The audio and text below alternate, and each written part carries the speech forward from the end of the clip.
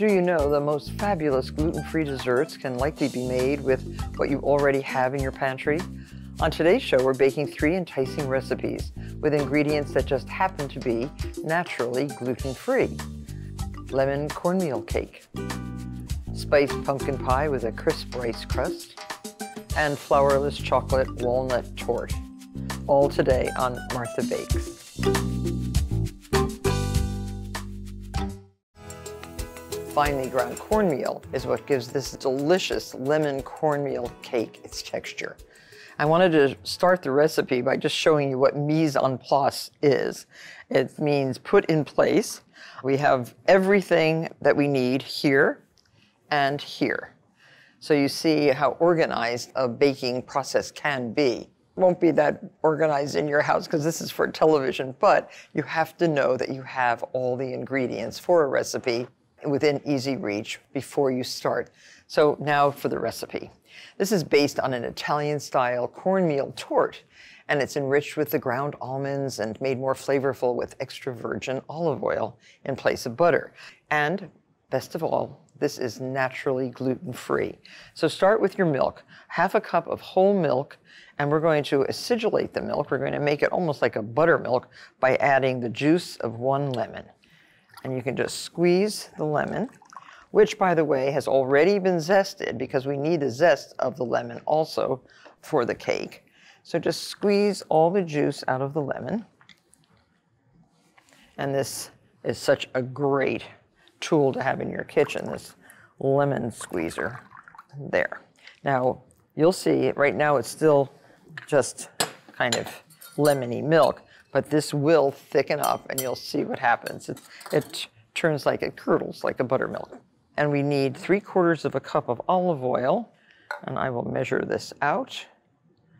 Good, good quality olive oil. And in our food processor, one and a half cups of already ground almonds. They're not fine enough though. And one cup of sugar. Grind this until it's a very fine meal. And these are raw almonds. We're basically making a nice sugary flour of almonds. And to this, now add your lemon zest. Pulsing the almonds and the sugar with the lemon zest allows the lemon to be completely incorporated into the flour of the cake flour in quotes. Because we're used to thinking about flour as all-purpose white flour, of course. So now you can dump this into a large bowl. It's very fragrant and very delicious. So to the almond flour, now add your cornmeal, one cup of fresh Italian ground corn. This is made from dried corn kernels.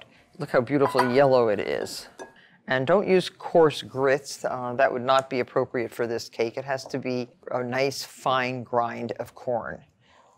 And to this we add a half a teaspoon of baking soda, one and a half teaspoons of baking powder, and a half a teaspoon of salt. So there's our dried ingredients, well mixed, gluten-free. And now we can add to our milk, and look how it's curdled. Can you see? It's really thick. A nice light buttermilk. Add one teaspoon of almond extract. And three large eggs. You can beat these in after each addition.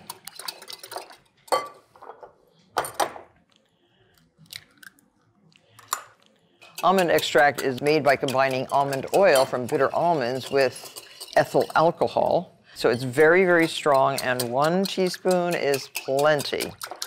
Sometimes people use too much of the extracts and really overpowers the flavor of the other ingredients. So be careful. I have made that mistake. And now add your olive oil to the egg mixture. Look at that gorgeous color. You should have your pan, which is a nine inch springform pan, oiled generously with olive oil. And this has an easy release. You see this little clamp on the side so that when the cake is done, you just separate this ring and the cake will pop out. So now you can add the wet ingredients and you can sort of feel the crunch of the cornmeal. If you want the most nutritious and flavorful cornmeal, make sure the package says whole grain or stone ground. This means that the germ and the bran layer are included in the mix. And your oven should be preheated to 325 degrees. And you're going to bake this cake for anywhere from 50 to 55 minutes. So just pour this right into your pan and it's ready to go into the oven. Set your timer. So here's the cake. This is what it looks like when it comes out of the oven. Let it cool completely on a wire rack like this in the pan and run a knife around the perimeter so that you're sure it's going to release. Now here is the little clamp that springform pans have. This releases the ring. Did you notice it got bigger? And this will lift right off. How good. So use a large spatula if you have one, just to lift the cake and put in place. You could use a stencil if you want to put a decoration on there, but it's also very pretty, just powdered sugar in a sieve all over the top. So pretty. And this is ready to serve. What a nice crumb this cake has. It's moist, bursting with the flavor of lemon. Enjoy.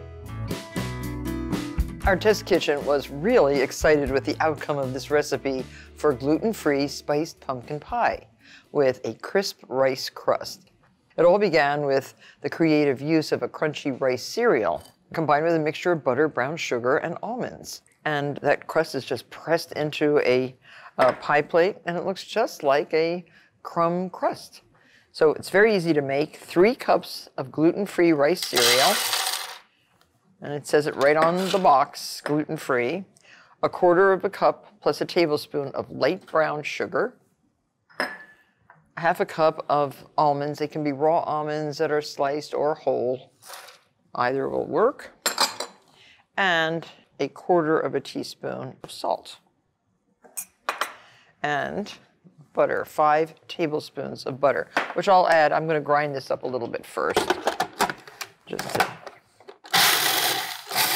when you're grinding almonds or any kind of nuts, make sure that your blade of your food processor is sharp. And now add your butter, five tablespoons of melted butter.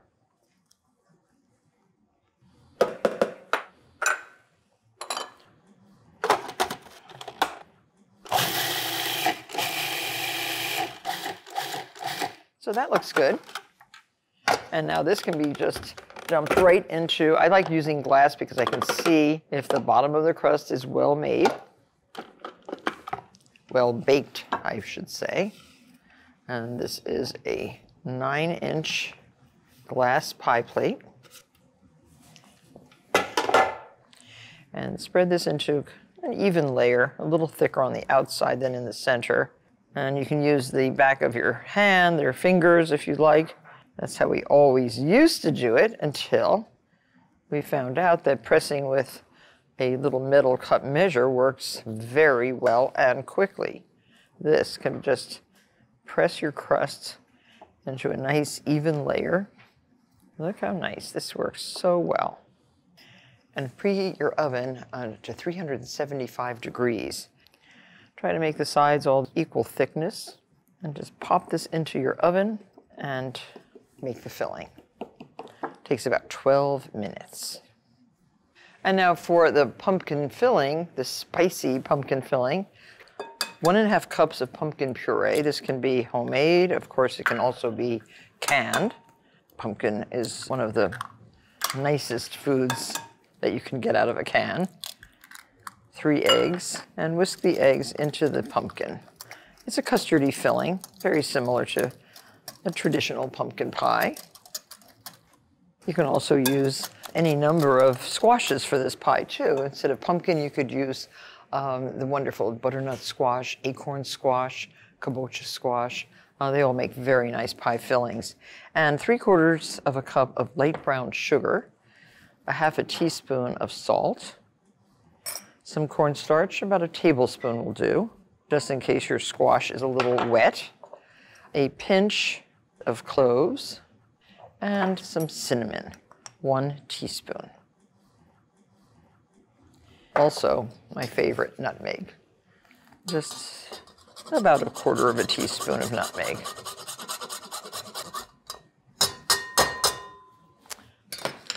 So stir this up. Brown sugar gets lumpy and dry really fast, which is why we keep it in a sealed container. And it'll be very hard to break up if it gets too dry. So you can just add this right to your pumpkin.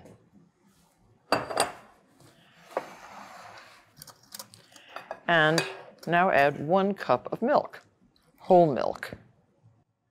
Some people might use cream, but the milk works very nicely. Make sure that your oven is set to 325 degrees. But you can see it's nice and silky smooth. Get this right into your pie crust. This rice crust, which is gluten-free, can be used with a filling of uh, cream, of chiffon or custard. Chocolate is very good. You can experiment, but it's a very nice crust to have on hand when you want to make a delicious pie. There, get that right into your oven. It's going to take about 50 to 55 minutes. So for the topping for this delicious pumpkin pie, we're not done. Yogurt, three cups of yogurt, a half a teaspoon of vanilla, and three tablespoons of honey. And this you just dollop right on top. Use a nice thick yogurt, like a Greek style. So just spoon this right on top. You want to just cover the whole pie with your yogurt. Looks so beautiful. And you can just put this back into the fridge to chill a little bit until you're ready to serve. And there you have a spicy, gluten-free pumpkin pie. You can experiment with all sorts of fillings for this unique crust, but this one just might turn out to be your favorite. Enjoy. If you follow a gluten-free diet and crave decadent chocolate desserts, look no further than this flourless chocolate walnut torte. It's a rich cake that calls for walnuts to be used instead of flour and replaces butter with coconut oil for richness. So the first step is to melt the chocolate. Eight ounces of bittersweet chocolate.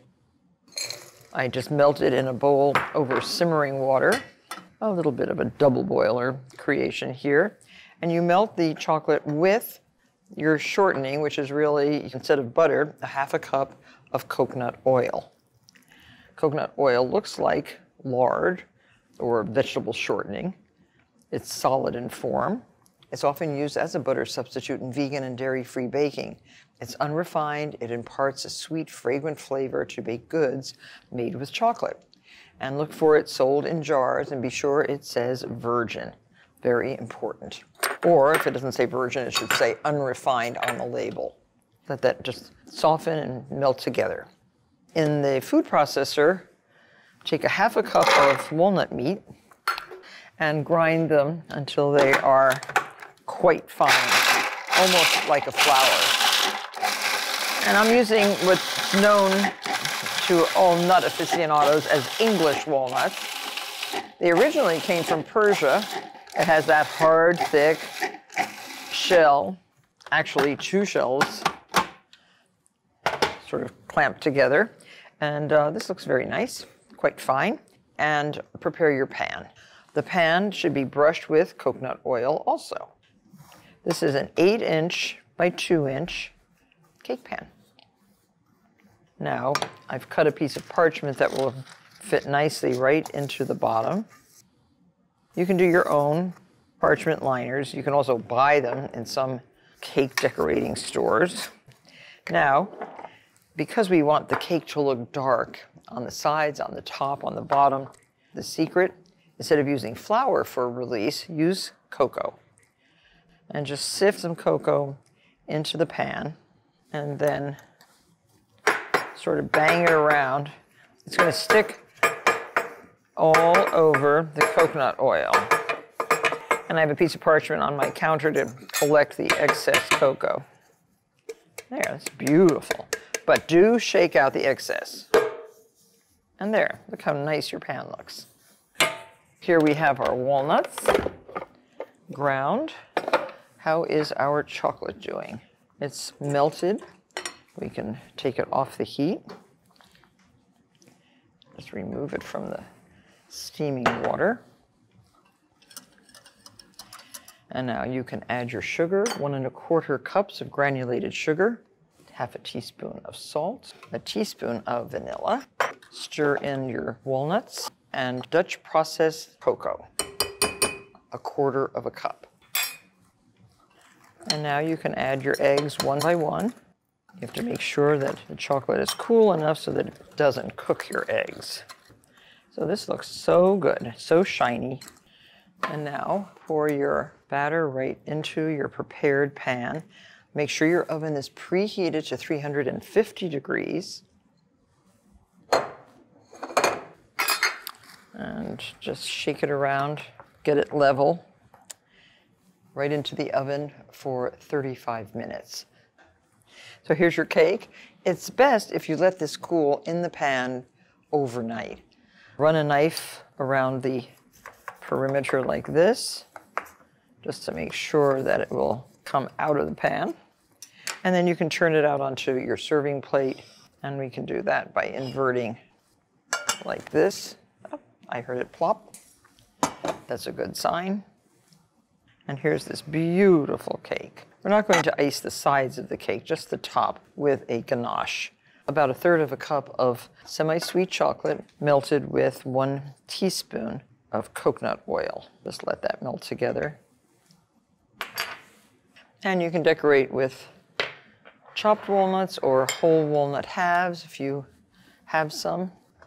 You want the glaze to be nice and smooth. And you can just put that right in the middle of your cake. Just a little bit of icing. Spread it just to cover almost the entire top. This will level out. You can sprinkle the chopped walnuts around the edge. This cake can be made with bittersweet chocolate or semi-sweet chocolate. Either chocolate will work very nicely. I just happen to like the semi-sweet. And if you want, you can put some walnut halves also on your cake. What a beautiful cake cut it into wedges, and serve. You can keep this refrigerated covered for up to a day. It's so rich and so tasty, you can hardly believe that it is gluten and dairy free. Eaten right away, it's divine, but if you serve it chilled, it is even fudgier. Calling all pie and tart and galette bakers. If you're looking for a healthier, more nutritious crust alternative for your next recipe, today's show is just for you. Using a new repertoire of grains, flours, and sweeteners, I'll share three exciting new recipes. A plum galette with cornmeal crust, a chocolate coconut pie, and a mushroom tart. All today on Martha Bakes. For the novice baker, a galette, which is pie's free-form cousin, uh, will give you the confidence you need before trying actual pies and tarts. For added crunch and flavor in the crust, I'm using cornmeal in this mouth-watering plum galette. And the crust is very easy to make and use your trusted food processor, one cup of all-purpose flour, and we're adding a quarter cup of this extraordinary cornmeal given to me by my friend Jack Algiere. So uh, it's gonna have a fabulous taste. A half a teaspoon of salt, a tablespoon of granulated sugar, and that's basically the dry ingredients. Cold butter, like all pie crusts, make it cold, bake it hot. Remember that. So everything should be cold. I'm just basically sifting the dry ingredients together by pulsing. Add your butter.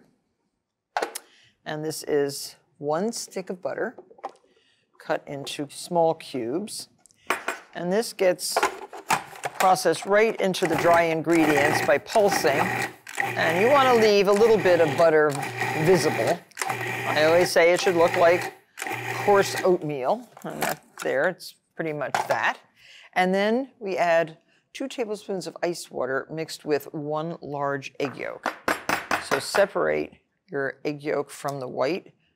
Save the white. I love to save it in a plastic container like this, and I just keep adding egg whites and writing on the cover what it is.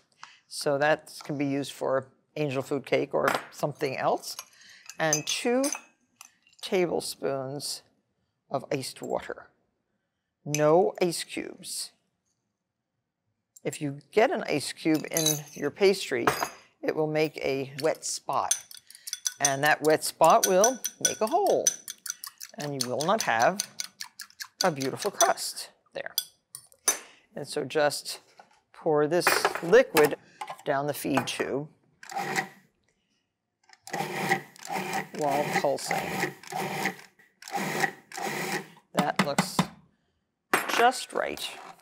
Just starting to come together. And if you put it in your hand, it stops crumbling. That's exactly what we want. And this gets wrapped up in plastic wrap, and that will be your crust.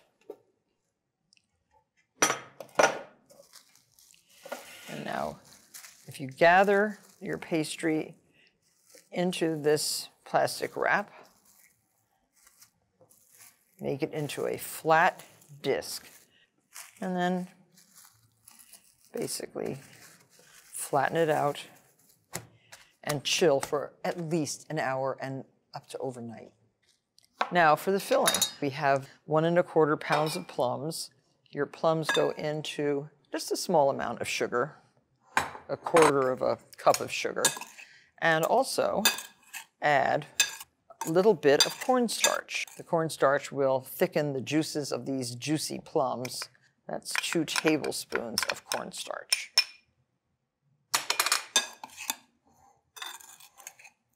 Let them sit for a little while. Oh, and don't forget vanilla. Split the vanilla bean down its length and scrape with the flat side of the knife. Those are millions and millions of little vanilla bean seeds. And this goes right into your bowl with your plums. Stir these up. Mm, they smell very good. So now we're actually ready to roll out our galette crust. This one we want to be about 12 inches in diameter. A few little cracks. Now if you're making it very rustic, you can just leave the free-form edge. If you want it to be a little bit more formal, you can cut around the edge with a pastry wheel. But notice how easy it is to pick up if you roll it on your pin like this. And then how easy it is to unroll right on your parchment covered baking sheet. There. And this is the crust for our galette. Put your plums right in the center. Would be a very good idea to have lots of those crusts in your freezer for summertime because who knows when you're going to be at the farmer's market or even a good grocery store and find the perfect plums so that you too can make a bottom crust galette. Use all that nice juice. And then make sure your hands are clean before you start to fold up the edge over the fruit. You can, as I say, do it in a rustic fashion like this. You can pleat it. You can fold it over nicely. Ah, this is so great. Rustic version. You can use a little bit of turbinado sugar on the top of the fruit. Dot with small pieces of butter on the fruit itself. That will flavor the juiciness of these beautiful plums. One or two tablespoons will do. And this will go right into the refrigerator to chill for approximately an hour before you put it into the oven. And here is our chilled version. and one large egg mixed with one teaspoon of water. This is your glaze. And just brush just on the pastry. Your oven is preheated to 375 degrees, and this will take approximately 35 minutes or so, or 40 minutes to bake at that temperature. A galette is such an easy version of a fruit pie. A little bit of that sugar on the crust. And there you have a spectacular galette ready to go into the oven. So the galette has been placed on a flat surface. I like it right on the parchment because it's the only way really that you can lift it off the tray and then serve these lovely wedges with either whipped cream, creme fraiche, or even a scoop of buttermilk sorbet. Enjoy. Soft peaks of marshmallowy Italian meringue and silky chocolate ganache fill a graham cracker crust for a sinfully delicious chocolate coconut pie. So to make a crust, pulse in the bowl of a food processor 12 dairy-free graham crackers, six and a half ounces. Break them up a little bit before you try to grind them. It's hard to grind whole graham crackers.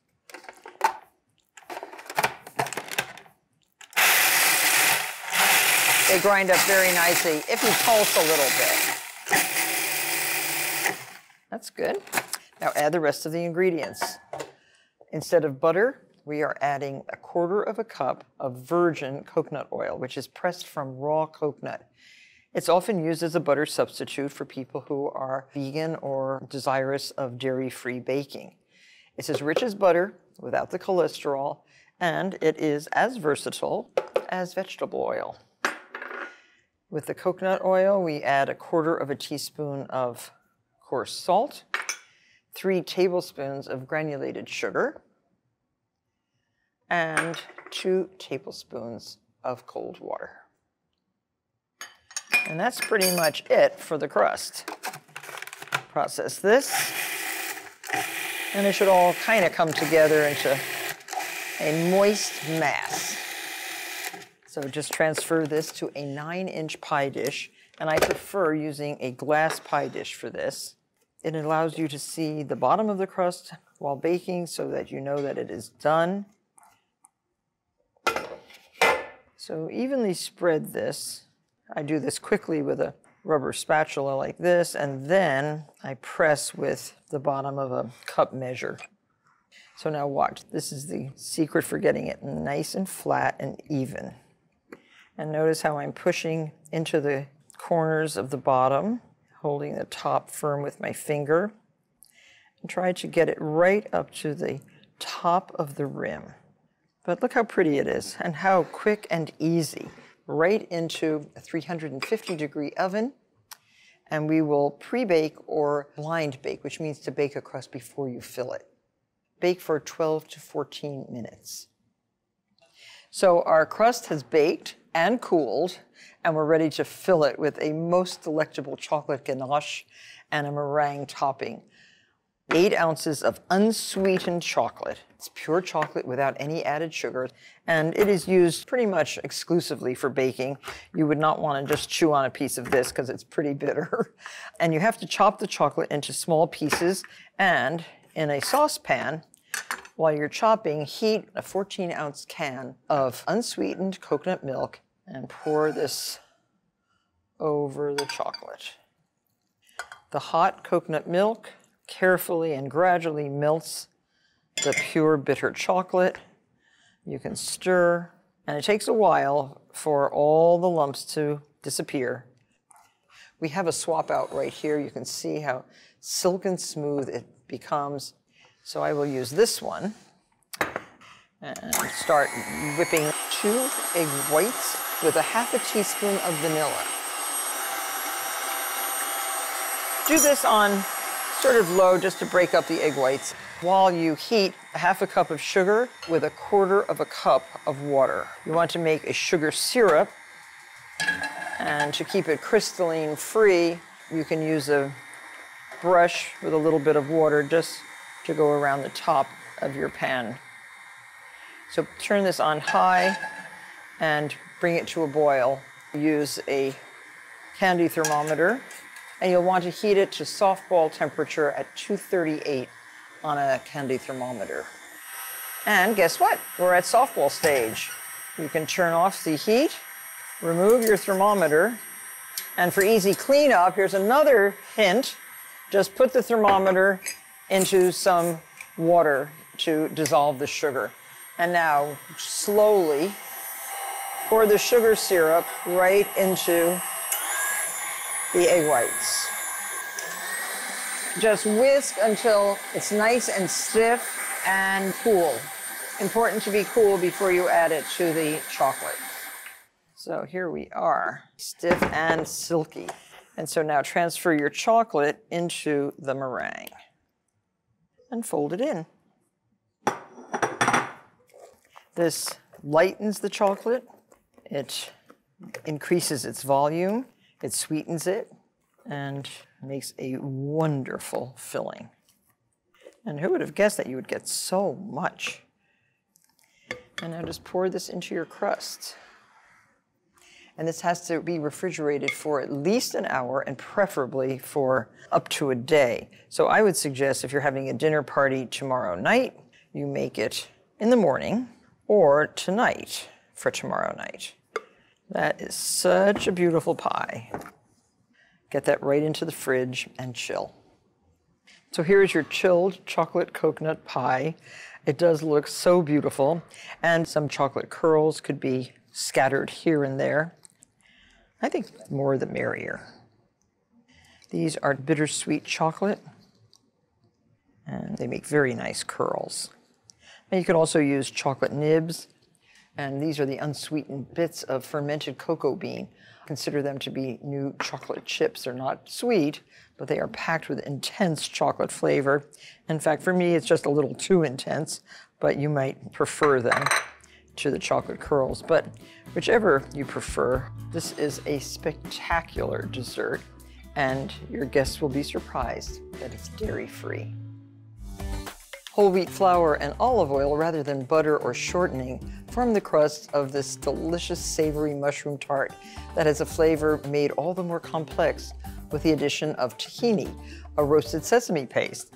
So you're using three quarters of a cup of all-purpose unbleached flour, and we're using three quarters of a cup of whole wheat flour. Mix those together with one teaspoon of salt.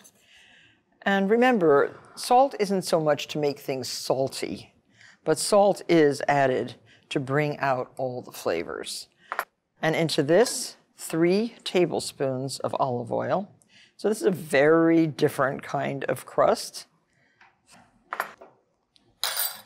And use a rubber scraper to stir. And their secret ingredient, a quarter of a cup of tahini. Now, tahini comes from the Arabic word tahana, meaning to grind. And this is a protein packed condiment which is made out of ground up sesame seeds. It's very good. And we need three tablespoons of ice water without any ice. So, three tablespoons just sprinkled over the dry ingredients. This is great. So now just put this out on a piece of parchment paper and try to gather it into a single mass. And you can roll it between two pieces of parchment paper. We want it to fit into our nine inch removable bottom tart pan. So now you can roll this up on your rolling pin.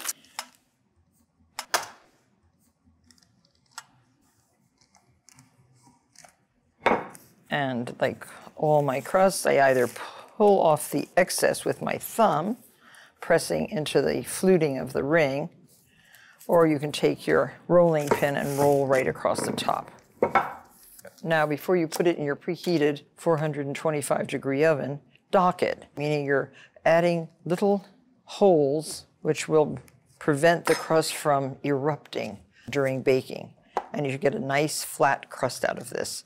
Bake the crust at 425 for 35 to 40 minutes.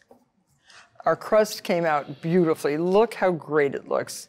It's a little bit smaller than the pan. It does shrink a little bit. I have my oil heating. Add a half a cup of finely minced shallots and one clove of garlic, finely minced. We just want to sweat them a little bit. These are called aromatics. Beautiful. With a half a teaspoon of salt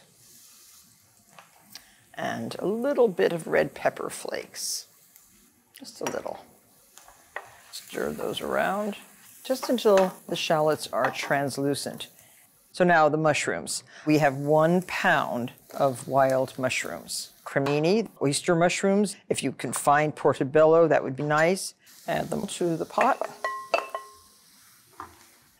And continue to stir them and cook until tender and golden brown. We have a swap out, so after eight to 10 minutes, we're going to add two eggs, slightly beaten, quarter of a cup of parsley, finely chopped. I like to use just the leaves of the Italian parsley for this. So beautiful. And three quarters of a cup of Gruyere cheese grated. So this all gets added to the mushrooms. And your Gruyere. And what a simple, nice filling. And this goes right into your crust. Layer your mixture right in the crust. Mm, how special this is. This is a wonderful lunch dish. It is a fantastic first course for a dinner of a leg of lamb or a fish. And it could also be a vegetable course. So there. Now this goes onto a rimmed baking sheet. Put it right back into the oven, 350 degrees, 30 to 35 minutes. Well, here's the tart. Still slightly warm. Perfect temperature for serving. Be careful not to let the ring burn your arm. That has happened. Doesn't that look good? And you can garnish with pretty parsley leaves. The green looks beautiful on this tart. And it also adds a nice flavor. There, I think that's enough. And then the salad. Oh, just a wonderful mixed green salad, fresh garden lettuces with a sherry vinaigrette, and this should be dressed right before serving. And the dressing does take better on the salad if the salad is not wet. So use your salad spinner, and let's see how this cuts. And a generous size for a luncheon course. Look how great. A fresh green salad, a glass of white wine, a wedge of mushroom tart. What could be better for a lunch shared with friends? Through experimentation with a new repertoire of ingredients, we've had spectacular success transforming, if not elevating, some vintage cake recipes. Today, I'll make three old-fashioned favorites that are just as delicious as they are wholesome. Oat roulade with berry cream, chocolate buckwheat torte, zucchini almond cake. All today on Martha Bakes. Leaving the oats unsifted is the key to this roulade's pleasingly rustic texture. One of the easiest flours to mill at home is oat flour. You can grind it right up from whole grain rolled oats that you can simply pulse in a food processor until finely ground. This will not be the same as fresh milled oats from the grist mill, but they're tasty they have a mild flavor that works into a variety of baked goods like pancakes, muffins, and the old-fashioned jelly roll that I'm going to show you how to make today. A pinch of salt into one cup of the oats, and just grind these up until they're very fine. Just make sure that you keep the little blade that's in here very sharp.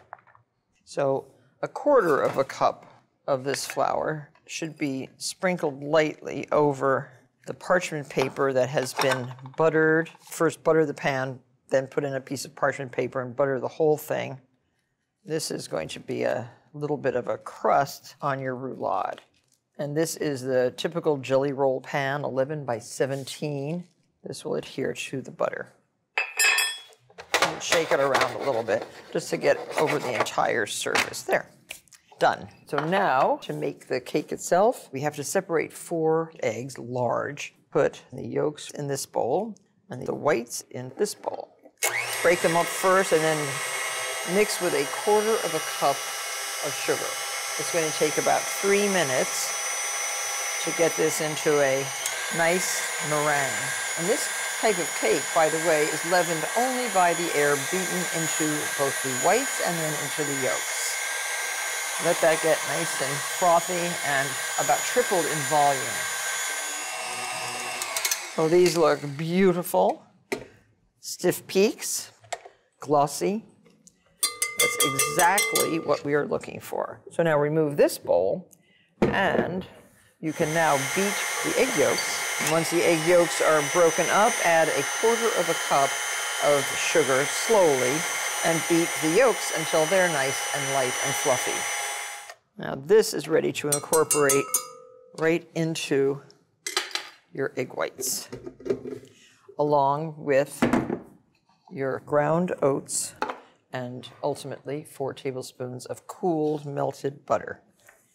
So pour this into your egg whites and try, if you have it, the largest of your rubber scrapers. So fold these. It looks so beautiful. It looks like a lemon custard. And now sprinkle your ground oats right over your fluffy egg whites and egg yolks. And you're mixing, but you're trying not to deflate. And then your butter. So what did grandma do without electric mixers and without food processors? So here, pour your batter into your pan. You're going to spread it evenly on one nice layer and preheat your oven to 350 degrees. You'll rotate the pan halfway through the baking time. The whole time is about 15 minutes. So now this is what the cake looks like, warmed right out of the oven, sprinkled generously with powdered sugar. Run the sugar through a sieve, as I'm doing, so that it's nice and fine. And I always love the flavor of the confectioner's sugar on a roll like this. And now we are going to turn this out onto a towel.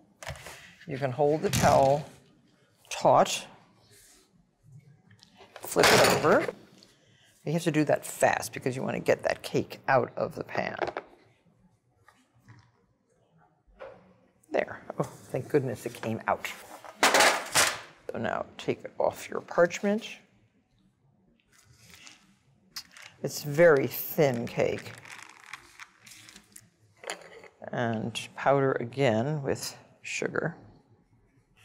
If the sugar is getting stuck in the sieve, just use your fingertips as I'm doing to push it through. And to make a nice plump cake, roll from the short side. Fold the edge of the towel over and just roll the cake. You'll unroll it when it's cool enough so that you can put the cream inside. So I've whipped one cup of heavy cream and now just about a quarter of a cup of berry jam. Fold it in, and this is your filling. A little streaky is good. So now unroll your cake. This is cooled.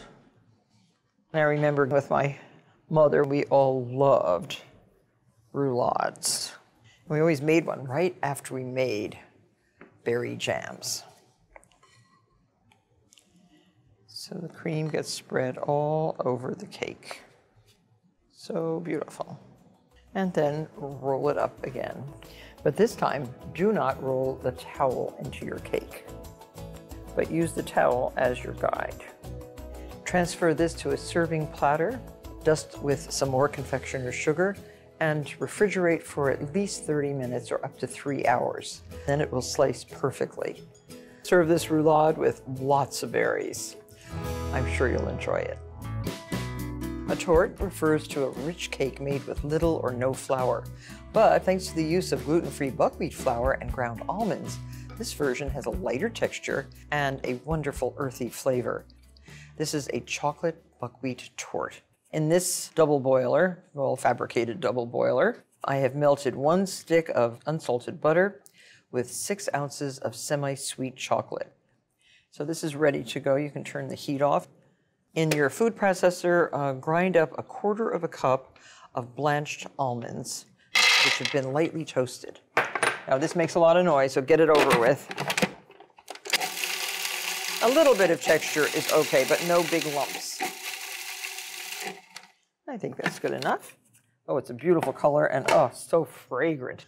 And into your ground nuts, add a third of a cup of buckwheat flour. And if you can find it freshly milled at your local grist mill, even better.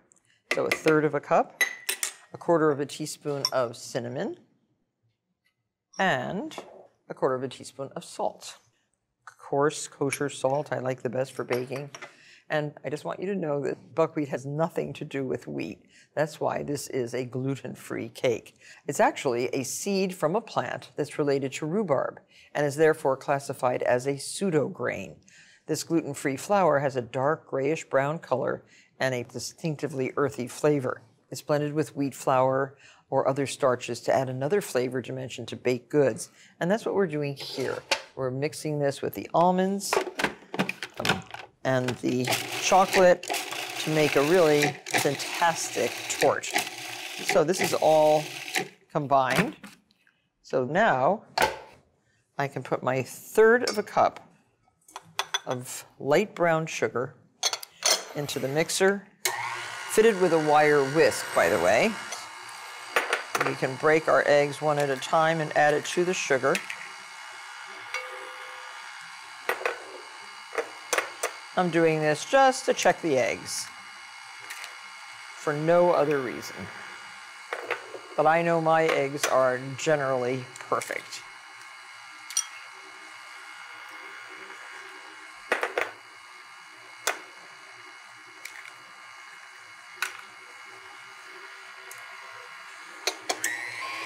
Get this well beaten. It'll lighten a little bit and takes about six minutes for it to get to the appropriate fluffiness. And your pan, this is a springform pan. This should be well buttered, fitted with a piece of parchment in the bottom, and then buttered again. Mm, I think this looks very nice. So lift that up, you can see it's a thick, thick ribbon. So now you can add your chocolate and your flour mixture. Put a spoon or two of the chocolate and and another spoon. And now fold in your flour.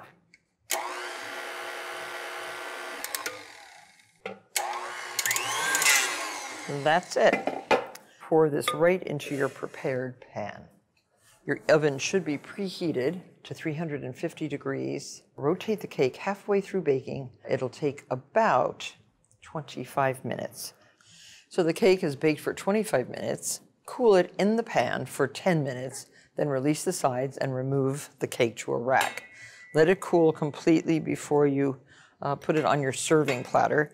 And you can put a ganache on top if you like. You can dust the whole thing with powdered sugar. You can dust part of it. I'm putting a little six inch cake round here and I'm just going to dust the edges.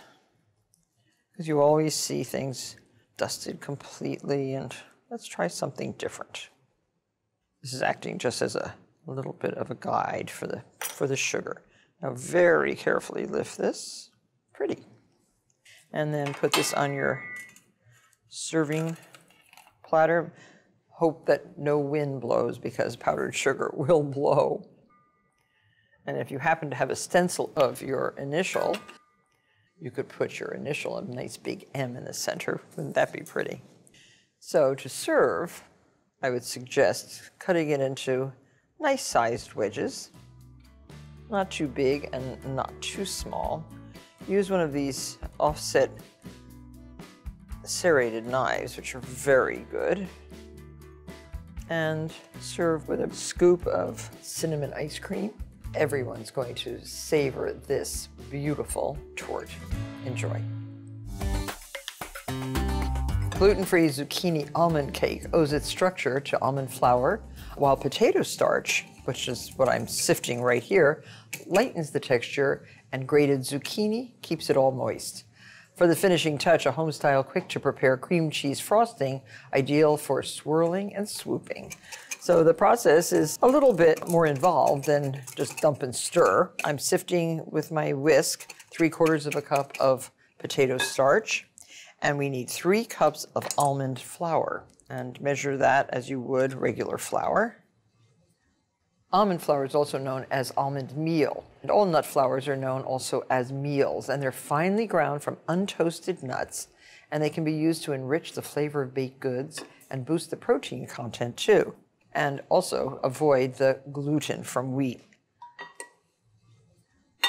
And sift that together with the potato starch, and add to these dry ingredients, which are quite moist, by the way, um, a half a teaspoon of salt, two and a half teaspoons of baking powder, Replacing some of the flour with potato starch, which is a European technique, tightens the grain and holds the moisture supplied by the eggs and the sugar.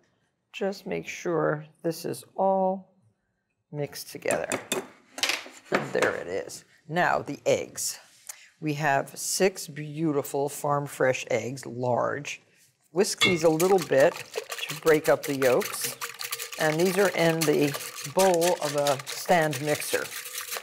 And now, to get more volume, put this over a pot of simmering water. We're warming the eggs, which will help get them very foamy, very full and fluffy. You have to stir constantly. You do not want to cook the eggs. This is another way to scramble eggs, did you know it? But we don't want to do that. We just want to warm. Warming relaxes the egg proteins, enabling the eggs to whip up higher and more quickly. And this uh, process also melts the sugar, which I can add right now, one cup of light brown sugar.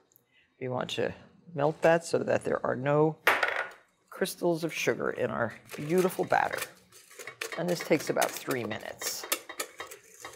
Now, insert your whisk and beat until the mixture is pale, thick, and cool to the touch.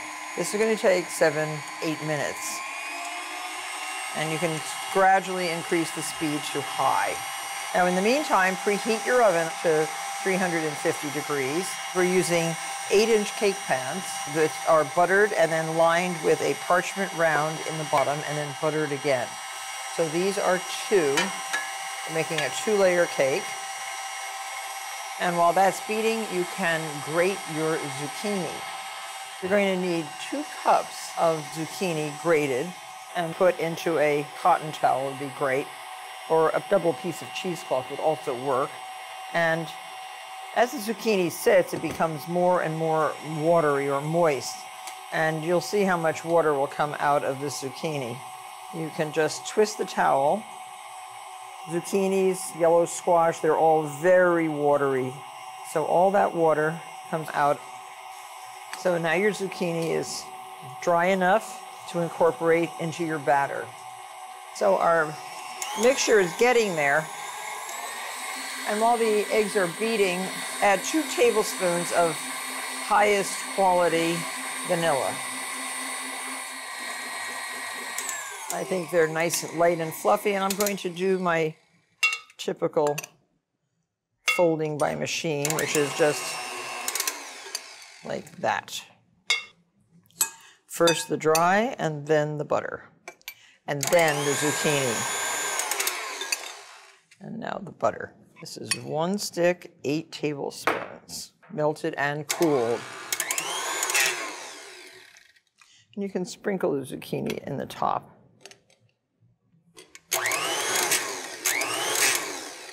And that is our batter. And then divide half and half. And for even layers that are perfectly even, you can use a scale or you can just guesstimate. Transfer these to the 350 degree preheated oven, and halfway through baking, you can rotate the cakes and bake them until they're golden brown and a tester comes out with a little bit of crumb attached. Transfer to a wire rack, let cool completely. So our cakes are done and cooling. Look how pretty they are. I think I'll invert one so you can see how great it is. And it's a lovely cake. And so we're going to make the delicious cream cheese frosting to fill the center of the cake, this layer, and then the top layer.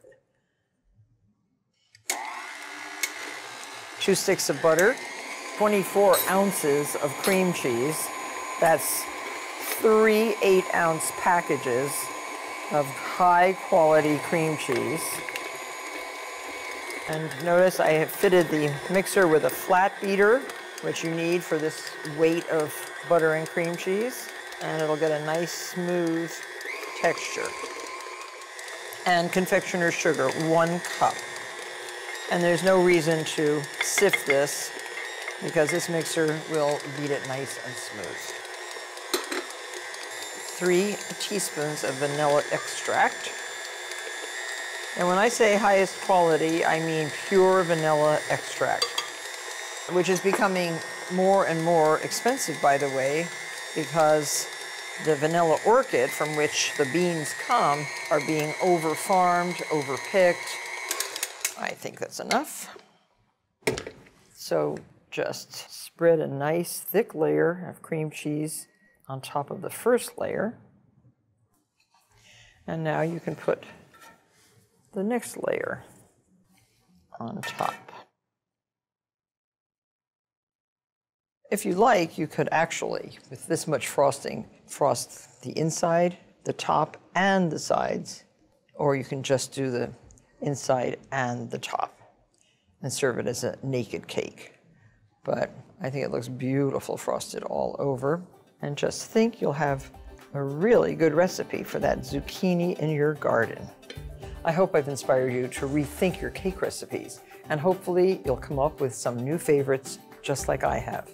Thank you very much for watching, and I'll see you next time on Martha Bakes.